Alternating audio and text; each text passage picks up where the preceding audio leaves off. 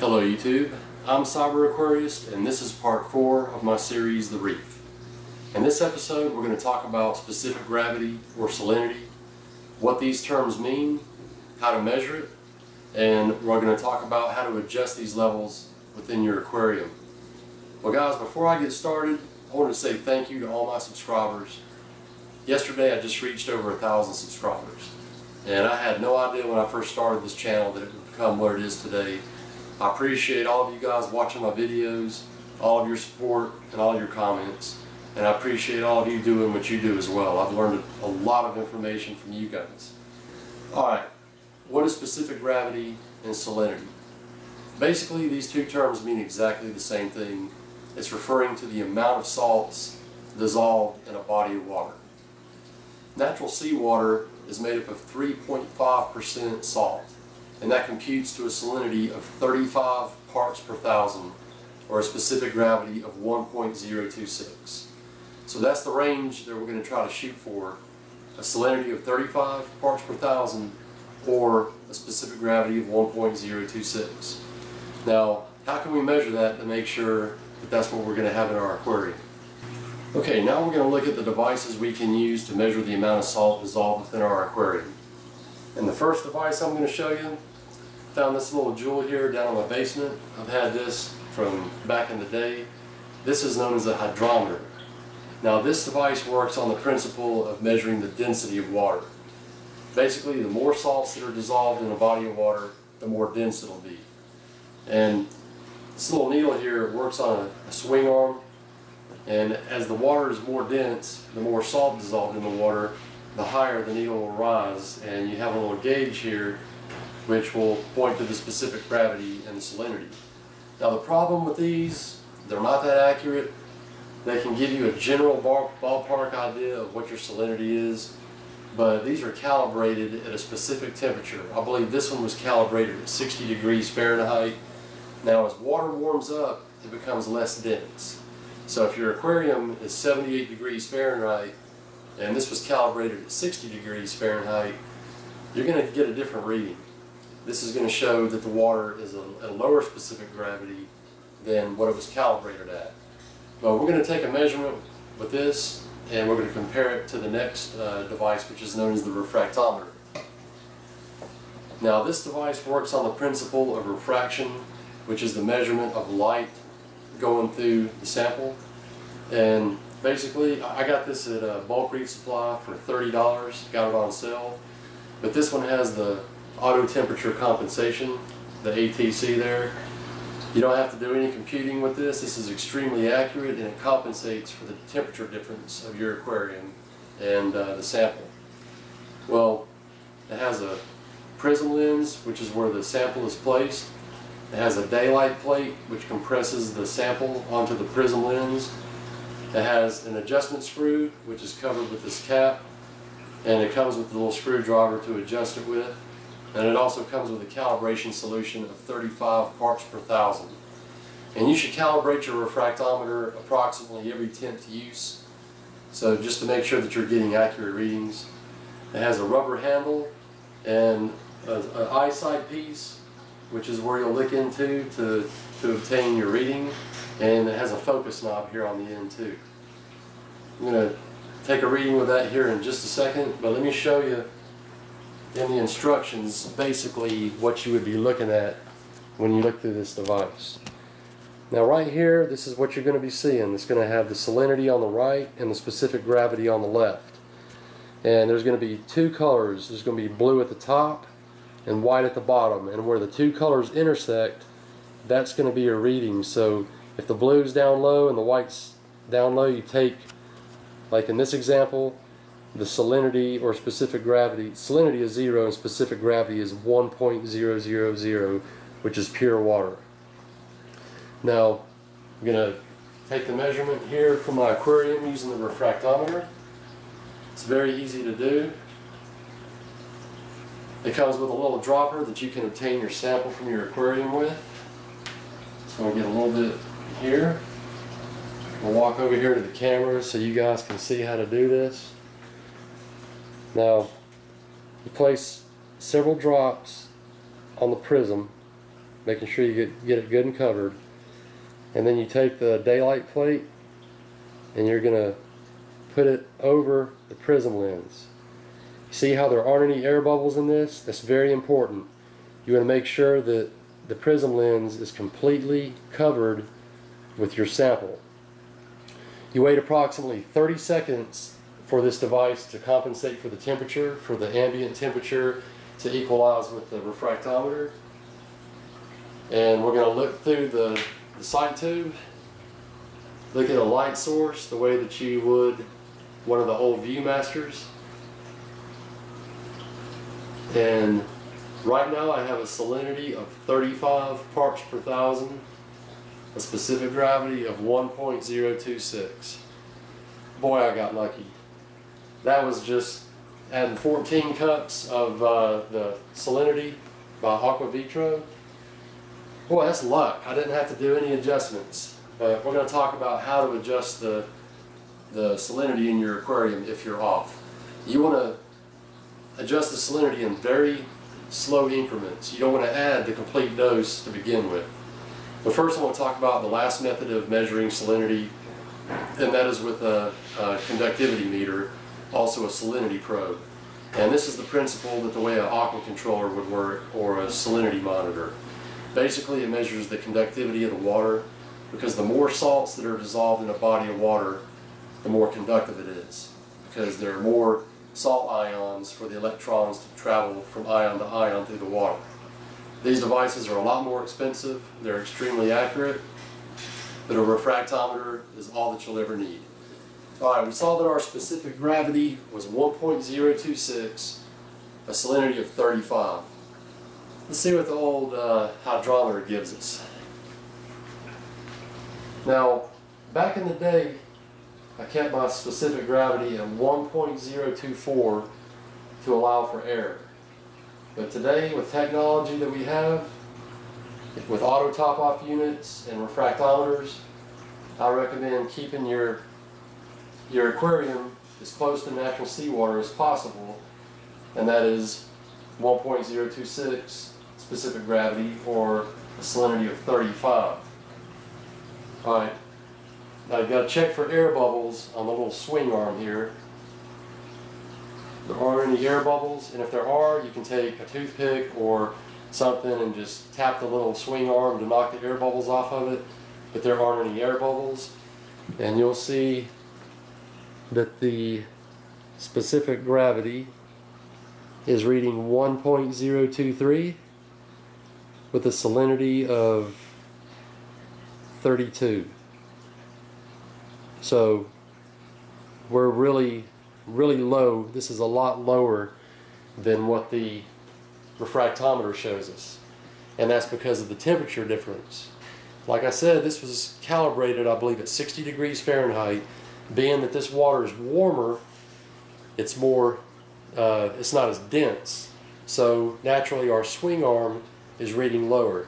I don't want to confuse anybody with this. Just know that if you're using this, you're going to be in the ballpark, and I recommend keeping your specific gravity or your salinity in the mid-range. Specific gravity of 1.024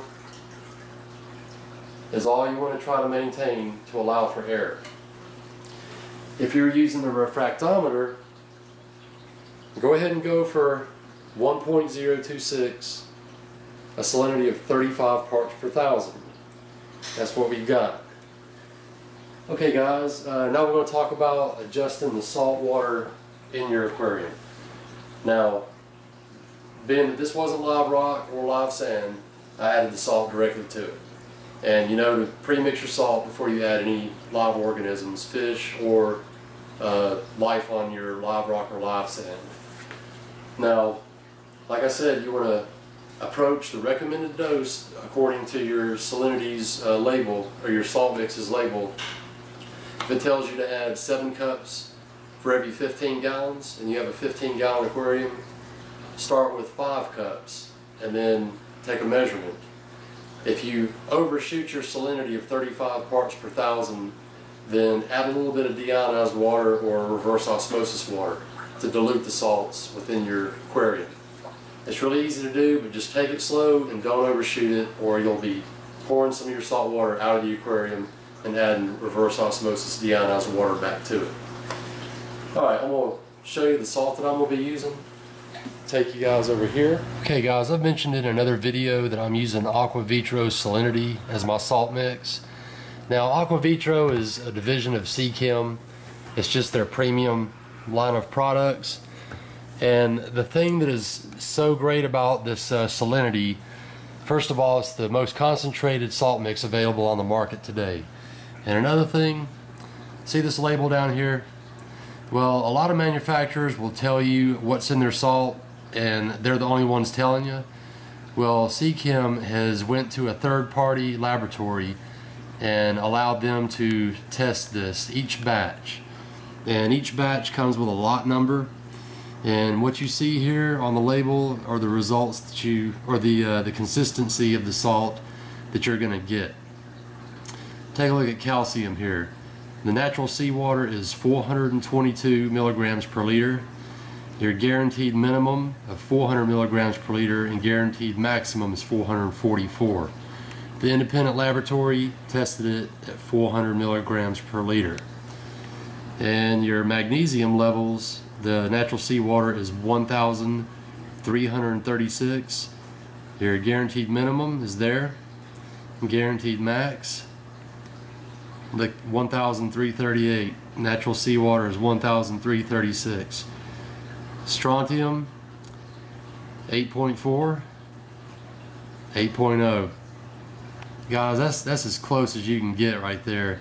Um, now another thing that Seachem has done is they have went around the world and they uh, tested seawater all around the world and they've taken the midpoint of all the minerals found in natural seawater. And what they've done is they've targeted the midpoint and Seachem's stability or salinity is guaranteed to be within plus or minus 5% of the midpoint and I'm going to just kind of get the label here. You can pause it and read all of this for your own reference. But I spoke with Seachem and some other hobbyists and guys, if you maintain adequate water changes and you have a moderately stocked uh, aquarium with corals, it is possible to uh, replenish the, the calcium, magnesium, alkalinity, and strontium uh, levels without ever having to dose. Now, as your corals get larger, you may have to, but if you keep up with your water changes, which a lot of my African cichlid brethren, I know you guys are no stranger to water changes, you shouldn't have any trouble maintaining a healthy reef aquarium if you use uh, AquaVitro Salinity and do a 10% water change every week. Alright guys, so we've talked about salinity and specific gravity. We talked about how to measure it and I've showed you the salt mix that I'm going to be using. And uh, just want to let you guys know that this is the only time that I will ever be adding dry salt to this aquarium. And that's because there's no life in it.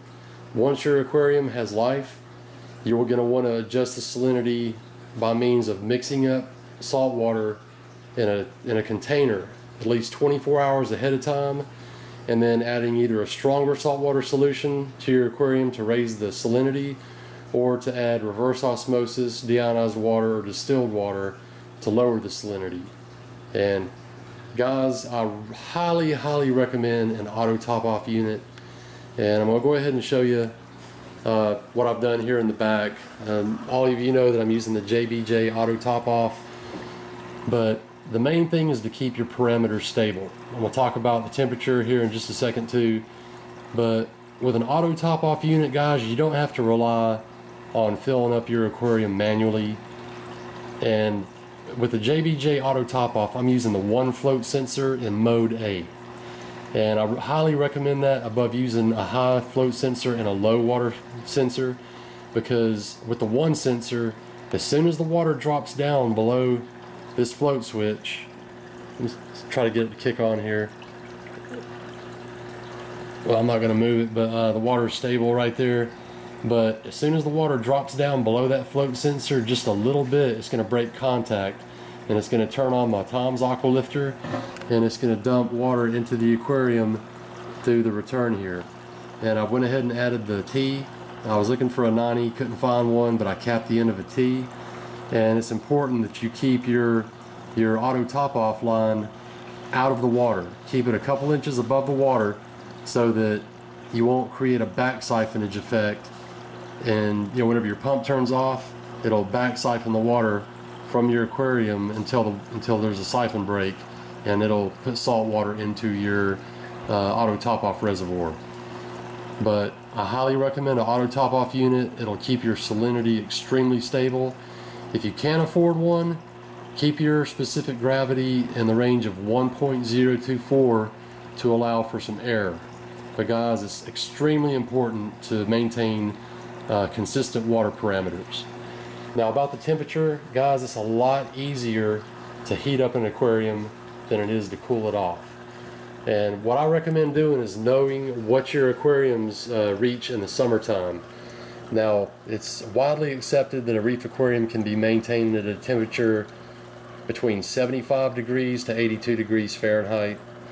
And what I've done is I've set my temperature to 78 degrees. And in the summertime, my aquarium should get around 80 degrees, no more than that. But this will only allow a 2 degree uh, Fahrenheit fluctuation.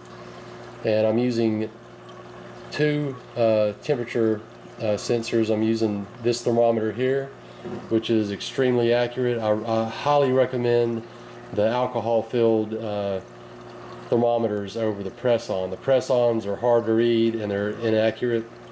Well, you see here the water temperature is 78 degrees and here's a temperature probe for my other uh, temperature readout which I had to dig this out of storage too. I've had this for a long time. This is my lifeguard uh, temperature alert. And you see the temperature on bottom which is in the aquarium? That's 78.3 degrees. So in the summertime, my aquarium shouldn't get any warmer than 80 degrees Fahrenheit. And uh, I've also hooked up my Ecotech Marine Vortech MP10. I've got to finish tidying this up, but I'm waiting until I put the light on before I adjust the, um, the top cord there. I've been playing around with it a little bit last night, and uh, right now, I think this is the Reef Crest mode. I'm not sure. I'm, I'm just now learning this device. But uh, last night I had some serious wave action going on and uh, the uh, Tropic Eden Reflex is doing a fantastic job of staying in place. I cranked this thing up to 100% uh, power last night and it wasn't blowing the substrate around. Right now it's probably 75, uh, 65, 70% power and it's doing a fantastic job of circulating the water along with my dual spin stream nozzles. There's a lot of micro bubbles in here now from the skimmer and once the skimmer breaks in uh, the micro bubbles will be eliminated but you see I've got some pretty good wave action going on. And last night I actually had the the wave rocking pretty good. Um, but I've still got some more adjustments to do with that with the uh, MP10 uh, oh and another note guys when you're adjusting the salinity in your uh, aquarium for the first time, it's a good idea to turn off your skimmer. And that's because you can set your water level where you'll think it'll be, but as soon as you start adding the salt, your water level is going to rise because the volume of water is going to increase and your skimmer could very easily overflow, creating a mess. Um, and then I've also added uh, some fine floss to the uh, custom caddy here on top just to allow the water to distribute more evenly across the mechanical sponges and um, okay a lot of you guys have been asking what lighting I'm gonna use got it right here. I'm going to show you guys. This is my coral view. This is the Maxspect R420R Razor. And this is uh, the 120 watt unit 16,000K I haven't even taken it out of the box yet, but I'm really excited to use that. It has uh, two channel program programmable uh, time sets with um, two independently programmable channels with six set points. So I'll be able to simulate uh, a sunrise, sunset, and lunar effect. And I'll be able to adjust the intensity of it as well as the time it comes on and shuts off. And once that's mounted, then I'll adjust the cords over there on the side. But guys, that's all the updates I have now. And part five uh, should be cycling the aquarium. And I'll get that out to you guys as soon as I can. Till next time, guys, this is Cyber Aquarist, and thanks a lot. Thanks for watching. Everybody have a good one.